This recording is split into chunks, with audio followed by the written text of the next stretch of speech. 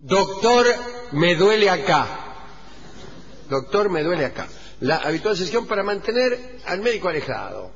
Y para ahorrar dinero, nada de Sí, sí, sí, prepaga, sí, sí, sí. nada de todo esto que es un gastadero de plata. ¿Sabe qué es esto de la medicina y todo? ¿Qué es? Un engaño, señor.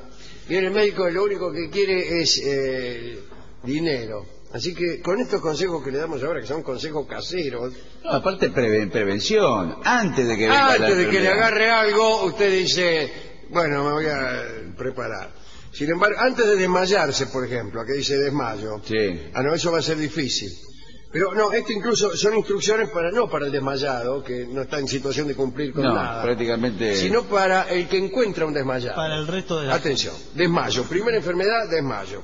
No es una enfermedad igual. No importa. Tienda a la persona. O sea, agarra la soga de colgar la ropa y lo tiende al desmayado y lo deja ahí hasta que se seque. Junto con los calzoncillos y la sábana. Ah, no, no, dice. En el piso Claro. o en una cama, Claro. levante sus piernas, las suyas. No, la, de, la del O la del enfermo. desmayado. La del desmayado, ¿cómo le va a levantar la suya? Que Ah, y qué sé yo. Parece una bailarina de Tabarís. Y va a ser un, un espectáculo dantesco, el tipo tirado en el piso y entra un pariente y yo levantando las patas. Eh, dice, no, levante las piernas del desmayado mediante almohadones. Por ejemplo, eh, si usted ve un desmayado en la calle, Sí. salga corriendo a buscar almohadones o vaya a alguna mueblería o toque el timbre a una señora y le Sí. dice, señora, présteme cuatro o cinco almohadones que hay un desmayado ahí. Eh, y tiene que levantarle las piernas por encima claro. del nivel del corazón. Sí. O sea, hay que poner las patas al hombro. Me parece que son, me parece que son las suyas las que tiene que levantar. Sí. Eh, Porque Para que la sangre corra Claro, hacia- es- al cerebro, para que le vaya, le- se le vaya la sangre al cerebro, Exactamente. Los pies son dos enormes bolsas eh, de sangre, reservorias de sangre. Despréndale los cinturones. Sí, señor. El corpiño. ¡Eh! Eh, Eh, Con razón se desmayó este hombre. ¿Cómo tiene un corpiño? Tiene un corpiño este hombre. Che, escúchame. Me- yo lo dejo. déjame. Vámonos. ayúdelo. Dice. O cualquier prenda ajustada. ¿Eh? Despréndale. Pero primero, en ese caso, asegúrese que está desmayado y no durmiendo. Sí, mire, Eh, Por ahí el Mire tipo si le está, empieza a manosear está el tomando corpiño. sol tranquilamente ahí y usted le saca el corpiño. el tipo dice, ¿qué hace, loco? Y creí que estaba desmayado. Hágalo sin miedo, sacar el corpiño. Sí, sí. En Directamente. todos los órdenes. Por ejemplo, para sacarle el corpiño a una dama hay que hacerlo con autoridad y sin miedo. Sí, sí, sí. Si sí, tú usted piensas, ay, dumi- no sé qué. No sé si sacarlo o no, bueno. No, no, entonces eh, la mina le va a decir. Sin titubeo, sin Claro. titubeo. Eh, Pero hay, pero hay corpinos muy difíciles también de sacar, Sí. porque los broches vio que no son eh, de los más prácticos. no, son prácticos, no, señor, no, no. Entonces eh, a la persona desmayada uno puede demorar. Demorar muchísimo, a lo mejor parte, el tipo se muere o la tipa se muere solo porque uno tardó en desprenderle el corpiño. Incluso cuando hay una señora desmayada acá en el teatro, Sí. enseguida, ¿dónde hay un médico? ¿Dónde hay un piola? Sí. El médico la atiende y el piola se supone que está habituado a desprender corpiño. Así es. Bueno, pero estamos con el, discúlpeme, estamos con el desmayado ahí. Sí, impre- sí, qué impresión, está desmayado. Dice, ¿qué es un desvanecimiento? Según lo que dure, dice. Bueno, cuando dura mucho está muerto. si la persona no vuelve en sí, llame urgentemente al médico. Si lo hubiera Claro. llamado, ah, llámelo antes. Llámelo cuando Yo creo que siempre hay que llamar al médico. Siempre. Siempre, siempre. sí. No, nunca, nunca. Nunca, si, nunca, nunca, nunca. nunca. Eh, nunca. Después, eh, boqueras. Hoy cuánto Oh. hace que no tengo boqueras. A mí Ay, me- ¿por qué? ¿Se acuerda de las boqueras? Sí, ¿Cómo? La- las boqueras te agarran por comer higos. ¿Me entendés lo que te digo? Ah, sí. Son como unas ampollitas que te salen Me acá parece al que es la costado de leche boca. del higo lo sí, que... Sí, eh, la que trajeron hoy. No, y, de- y de- se chupa naranja también. La con la naranja también. Chupar naranja también. Sí. Hay Eh, gente, hay gente que tiene constantemente como una especie de baba y hilos de baba. Eso es otra cosa. Ah, ¿por qué? Buenas tardes, doctor. No Mire, por qué porque se van acá para- traigo a mi hijo a mi hijo adolescente y tiene siempre alrededor de los labios como una película Sí, blancuzca. blancuzca y babosa como un caballo mordiendo el freno. ¿Qué edad tiene su hijo? Eh, ¿Qué edad tenés, Rulo? Tengo 18 años. 18 años, la edad de un adolescente. Para Es increíble cómo pudo reconocer el hilo de baba y no las ojeras que tiene. Son mucho más llamativas, parece un Nosferatu. Sí, sí. Yo no puedo atenderlo mucho porque por mi trabajo ¿Qué hace usted? fabrico sillas de mimbre. Bien. Este, otra enfermedad. A ver. Descompostura durante un viaje en auto. Es Eso terrible. tremendo. Eso es lo peor que le puede pasar. Peor en Prefiero colectivo, desmayarme. peor en colectivo la Eh, descompostura. digo, En ¿usted auto dentro de hace? todo. Si se, por ejemplo, se empieza a sentir mal en el colectivo y siente que se va a desmayar, le agarra un vaido, Sí, le sí. agarra eh, vómitos, asco, Hay que avisar. Hay que mareo. avisar a todos Hay los que que avisar. t- están ahí. Por ejemplo, usted levanta la mano, yo era el colectivero. Sí, Chofer, me estoy descomponiendo. Corriendo hacia el interior, por favor. No, ¿qué, qué hace el chofer en ese caso? Se detiene, Se detiene y se comienza a detiene y lo- asistir. lo asiste. Lo asiste. Porque el, el chofer tiene que Y, tener pero, ¿y el conocimiento de primeros auxilios, cómo asistir a un desmayado, a un descompuesto. ¿Y no entrenan a los choferes, a los colectiveros? A mí sí, sí, sí, acá en La Plata entrenan. Eh, por ejemplo, eh, siempre salen noticias de mujeres que dan a luz en un colectivo, en Es un verdad, ómnibus. es cierto. ¿Y quién lo atiende? El chofer. El chofer. Creo que el chofer no hace nada, mira y el bebé sale igual.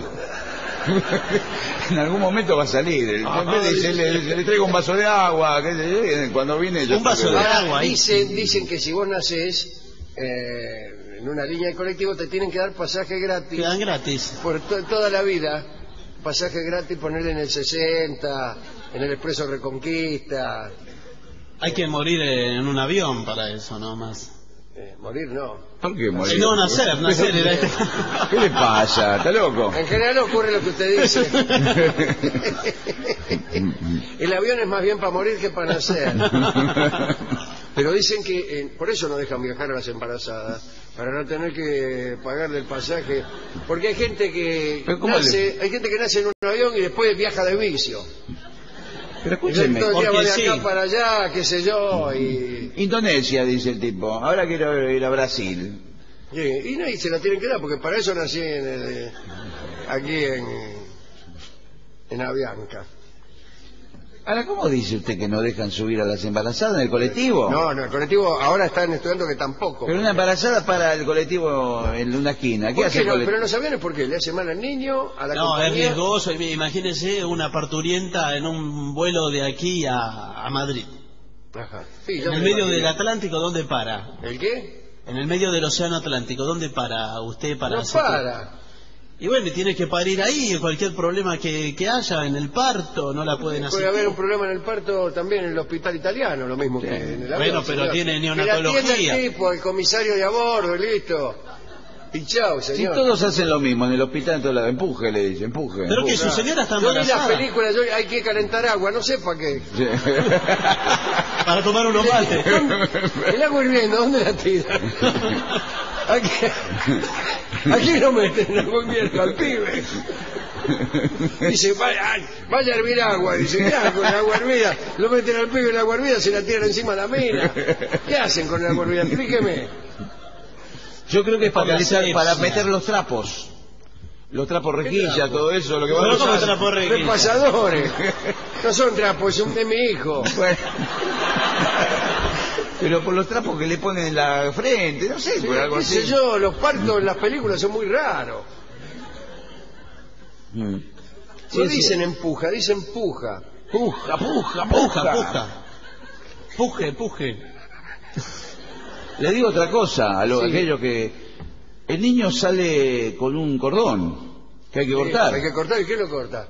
Y no sé, Sí, lo pero corta. El comisario de a bordo, para mí, tiene que ser ese, ¿no?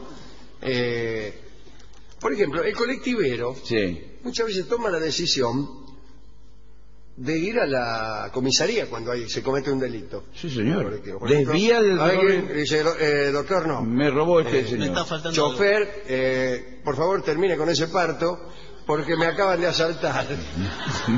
Qué Si viaje. un momento este. dice que enseguida, en, en cuanto acomode al recién nacido, vamos todos para la comisaría. Escúcheme, señora, no doy abasto. Vengo de Claro, esto, un del momento, otro. no primero la señora que parturiente, después al señor que lo chorearon. Pero bueno. tengo, tengo allá en el tercer asiento al desmayado. El de Mayao después. Bueno.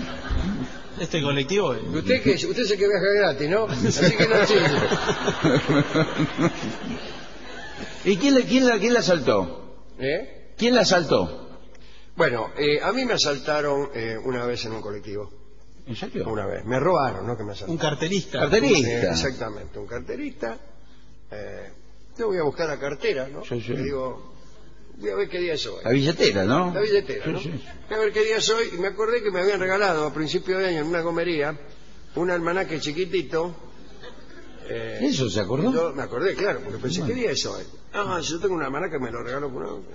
Y digo, me voy a fijar, lo, lo guardo en la billetera. Eh, voy a buscar la billetera y no estaba. Se la robaron.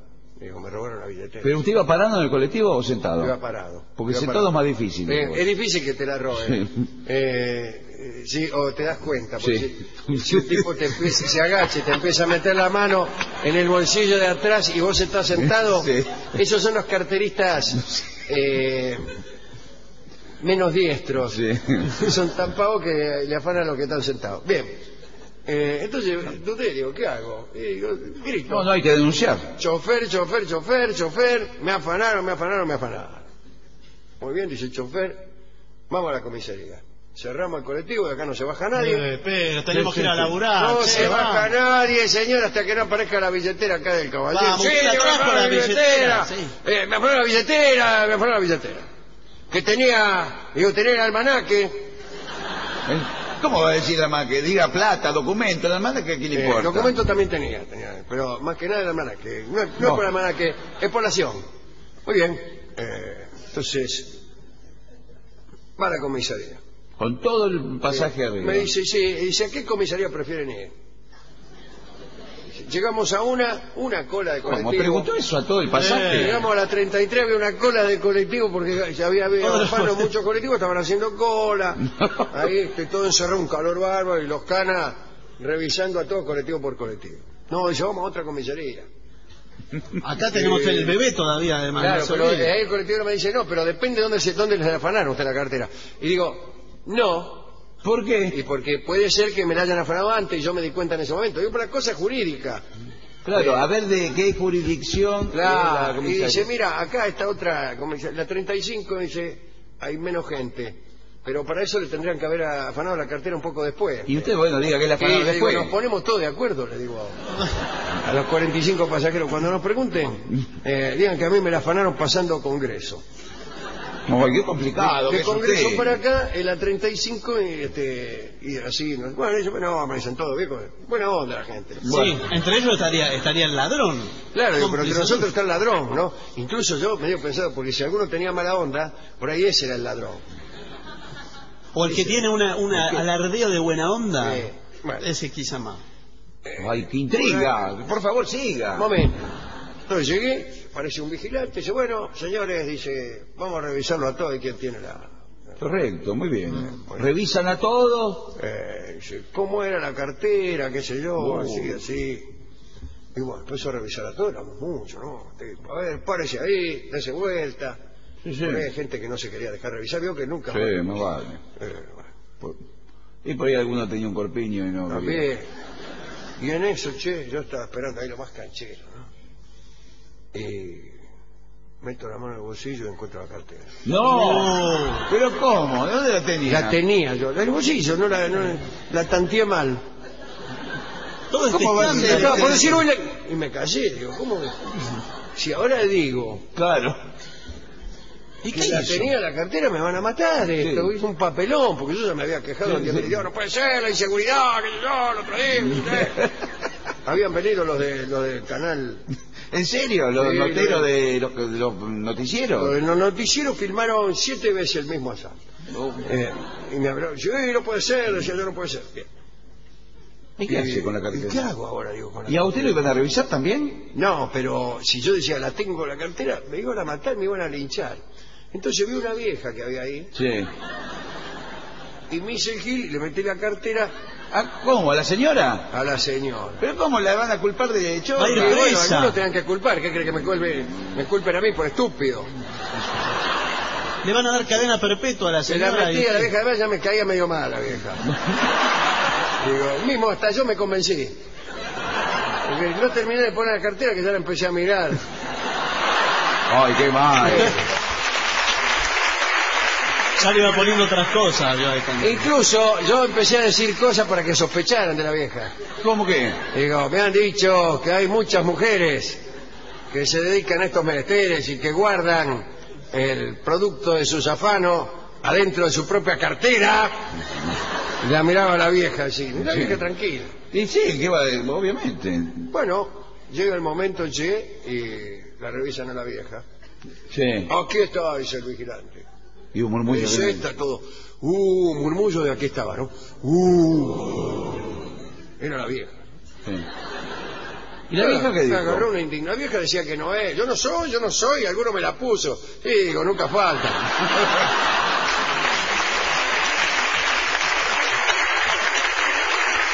Empezó la vieja a gritar, alguno me la puso, alguno me la puso. El colectivero dice, un momento que estoy con el desmayado.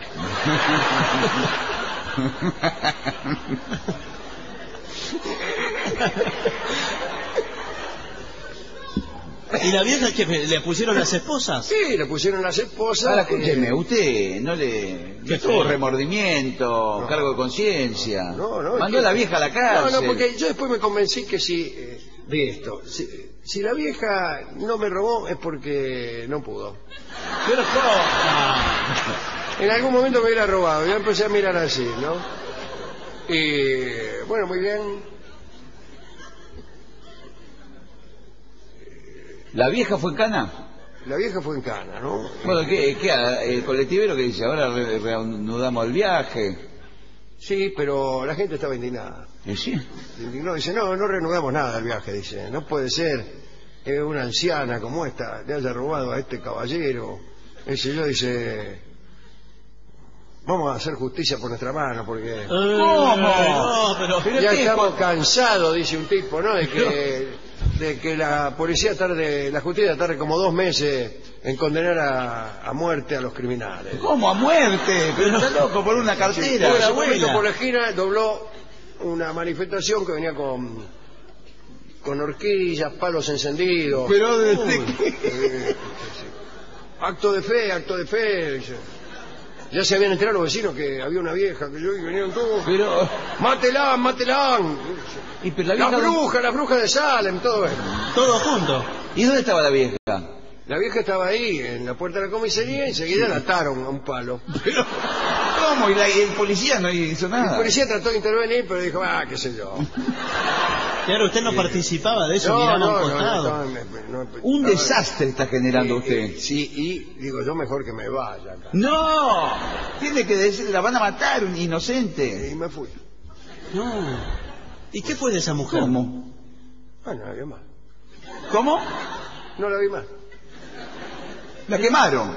No sé, yo, yo corrí, me cruzaba con gente que venía con palos, piedras. Vi humo después, pero... Usted es un criminal y un cobarde. ¿Usted qué? Se quejó del robo de una billetera por un sucio almanaque de gomerías. ¡Sí, lo hice!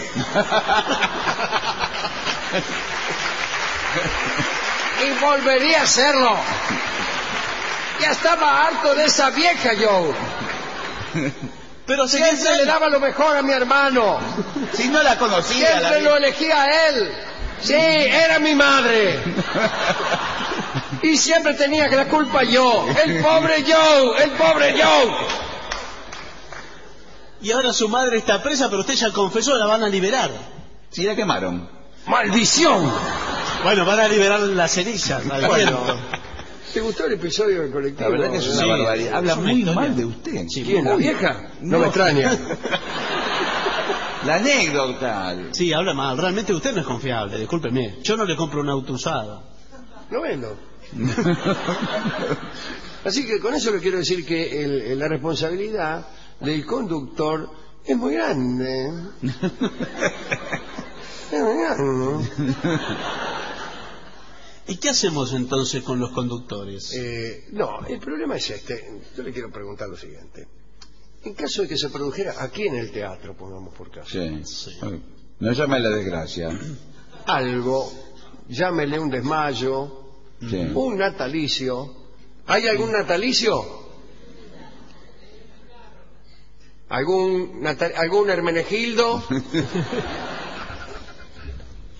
Eh, en caso que hubiera aquí algún natalicio, o, o un robo, una sustracción, ¿quién se hace cargo? Incluso hasta me parece que así como los capitanes de los barcos podían casar en el barco, Sí. podían celebrar matrimonio, el chofer de, de las líneas de media distancia por lo menos puede. No digo, no, no me cargue usted, no, No, un colectivero. chiste. Un colectivero de acá no te va a casar. Bueno, escúcheme. Siempre se toman chiste. No, pero usted se toma... eh, Los capitanes de los cruceros los casan. Claro, bueno, ahí está, usted la, la costera cruz de Mar del Plata. Se le sienta al lado una mina, ¿qué tal, qué sé yo? Siempre pensé que X hasta que Y, eh, yo era así, así, pero te, te vi a vos y soy asá, eh, etcétera, todo eso, ¿cierto? Bueno, dice la mina, hombre ideal. Pero ¿cómo? En un viaje. Alma gemela, hombre ideal. Te amo, te amo, te amo, eh, etcétera. ¿En qué? ¿En el transcurso del viaje? En el transcurso del viaje, ya en Dolores, che, digo, ¿por qué nos casamos? ¿Qué tanto, no es cierto, qué tanto esperar? Decir, casémonos, eh, seamos Pero qué ansioso, espere un poco. Entonces, ya, le digo, chofer, chofer, chofer. Pare, pare, pare. Espere, espere, espere. tengo Espere, que- espere, espere. Aquí queremos casarnos y todo. ¡Ay! Y el tipo para a un costado del camino. Eh, bueno, saca un organito que tiene por ahí.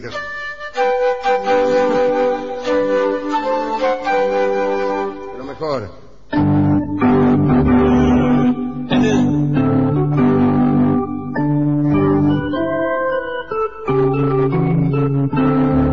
Es de doble piso ese. Sí.